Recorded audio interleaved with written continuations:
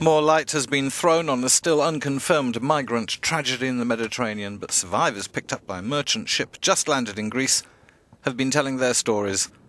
Last weekend, reports of 400 people drowning came in. But now it may be much worse. It's not clear how many people were on the boat when it sank. Uh, eyewitness accounts uh, talk about up to 500 people. In recent weeks, we have seen the number of people crossing from Libya into Italy increase dramatically. And we fear that this is the beginning of the uh, uh, good season. Uh, the weather is getting better in the Mediterranean, and more people will attempt uh, to cross. The 41 survivors included Somalis, Ethiopians, Egyptians, and a Sudanese man. They said they were on a boat carrying 200 people when it met a larger crowded vessel in the open sea, which sank as traffickers were moving people from their boat onto it.